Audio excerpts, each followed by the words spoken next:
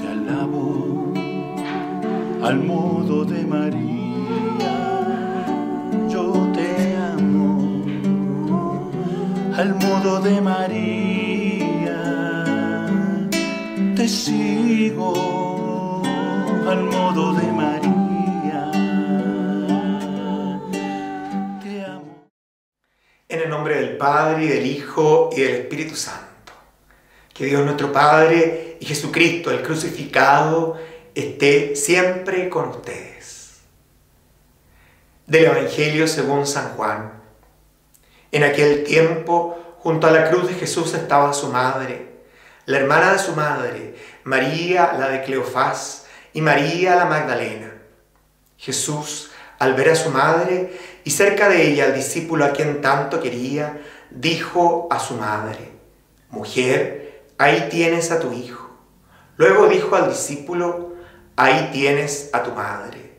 Y desde aquella hora el discípulo la recibió en su casa. Queridos hermanos, nunca nos dejará de impresionar esta escena que hoy meditamos. La fidelidad, la parresía de la Virgen de pie junto a la cruz de su Hijo. No sin dolor, pero en esa actitud valerosa, de fidelidad, de la que sabe permanecer, aunque tiene herido el corazón al ver injustamente condenado a muerte al Redentor del mundo.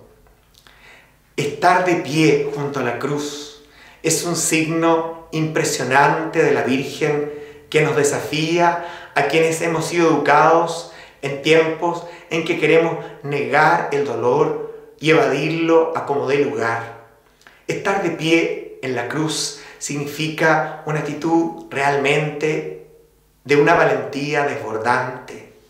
Al modo de María, quisiéramos también saber acompañar a Cristo, hoy día en la persona de otros Cristos, y asumir nuestros propios dolores con una actitud salvífica y de esperanza, con una actitud optimista y redentora, teñida no de fracaso, de muerte, sino teñida de fe en el resucitado, en aquel que vive y reina por los siglos de los siglos. Que por la intercesión de María, que está junto a la cruz de todos sus hijos e hijas, les bendiga el que es Padre, Hijo y Espíritu Santo.